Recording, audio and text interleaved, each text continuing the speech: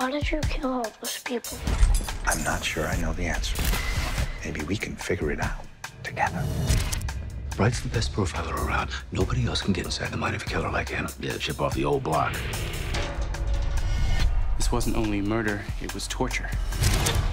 We're afraid you might suffer from certain psychotic inclinations, not unlike your father's. Do not go to him. He will destroy you. My boy. Once that you've decided on a killing. I became a profiler and hunted down people like him. And if you find that your hands are still willing, You think like the killer? I imagine the crime from the killer's point of view. you can turn a murder into art. It's a gift. There's so much I can teach you about murder. I don't need your help. What were you thinking? It's a kind of genius. One, two, three. We're the same. Ah! What a thrill.